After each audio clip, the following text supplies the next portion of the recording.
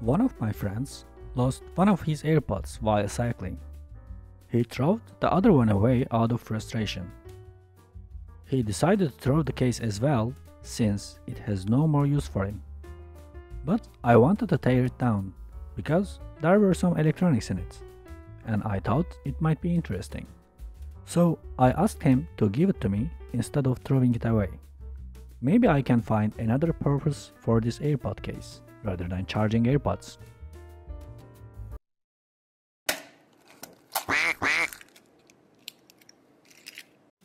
I don't expect anything really exciting about this AirPod case, since the only function of this case is to charge the AirPods, but it can also charge the AirPods while they are in the case.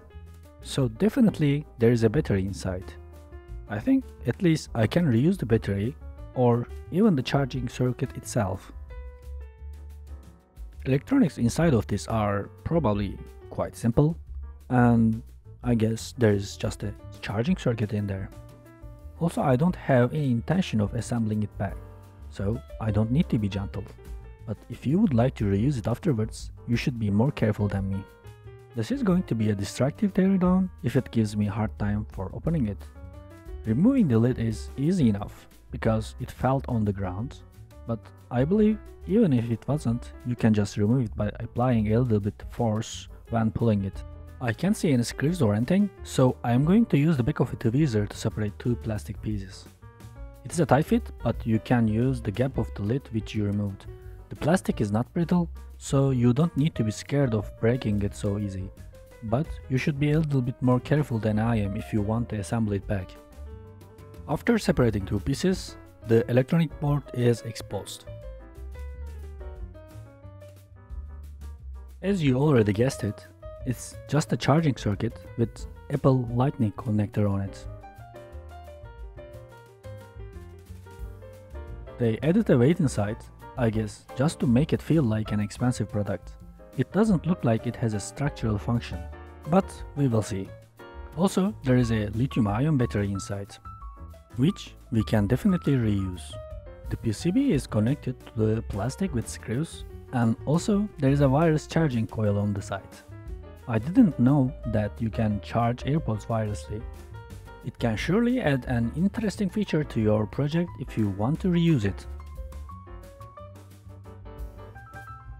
I will also take a look at the lid of the case, although I don't expect much. There is not much space for the tweezer, so I will just use a knife to open it. I guess I damaged the plastic a bit, so I don't recommend this method. There is a cast aluminum piece for structural purposes and its function is to hold and let the lid rotate on the case. Also, there is a small magnet which helps the lid to stay closed when you put it on your pocket or something. I will remove the screws which is holding the PCB on the plastic with a screwdriver. I think most suitable reusing scenario for this is connecting it to additional two lithium ion batteries and using it as a power circuit. PCB is already connected to a battery and it can be used as a 3-cell lithium battery charging circuit. Right now, which is holding the PCB on the plastic is these two solder joints and after removing it, I think I can just remove the PCB from the plastic. One second. I removed the joints with a soldering iron and the PC is coming along and also wireless coil as well and the lithium battery was just staying between the PCB and the plastic. So it was no problem to remove it. And only thing uh, which is remaining on the plastic is right now the weight and also additional magnets on the sides. Maybe someone is interested about how to remove the weight as well for repairing purposes, so I will just show it here. Under the weight there are two magnets and its function is to hold the lid closed when you do so. I'm not interested in anything on this desk except the PCB of course, so I will just put those aside. Um, I think I know what to do with this PCB board.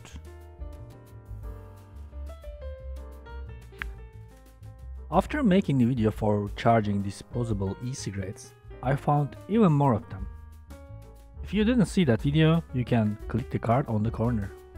If you don't know these, they are e-cigarettes without charging circuit built in. You use them only once and since there was no charging circuit built in, there is no way to charge them.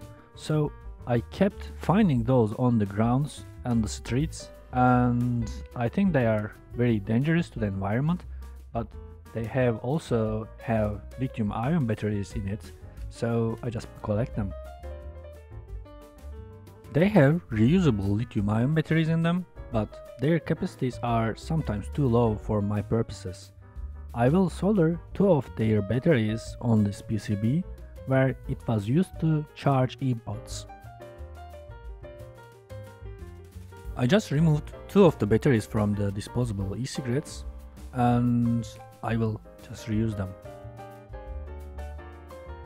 I will cut the cables on the battery and also on the heating element and just remove the lithium ion battery from the other unnecessary parts.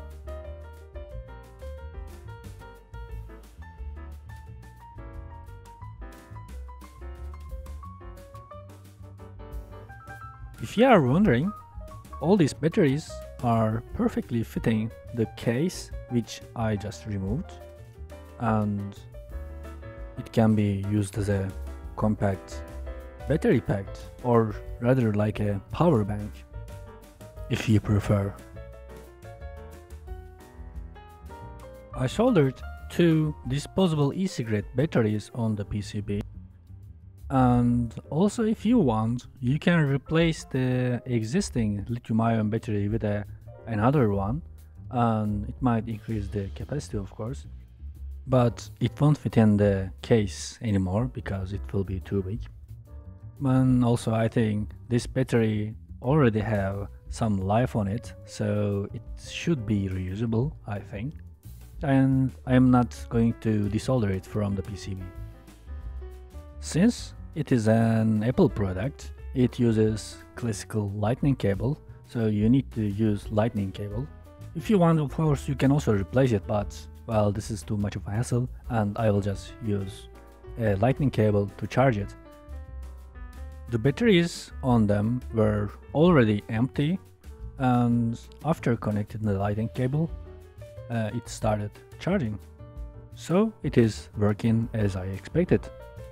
Batteries were empty, so the LED is red. I have never used it or charged it before, but I expect the LED to turn green, so see you after it has been completely recharged.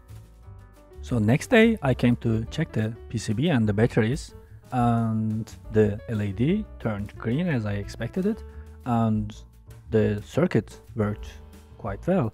So I think it is quite usable as it is right now. If you want to use it in your project, you just need to solder two cables and you are good to go. And also it has a wireless charging capability which might be a nice addition to your projects. Don't forget to give a thumbs up and see you next time.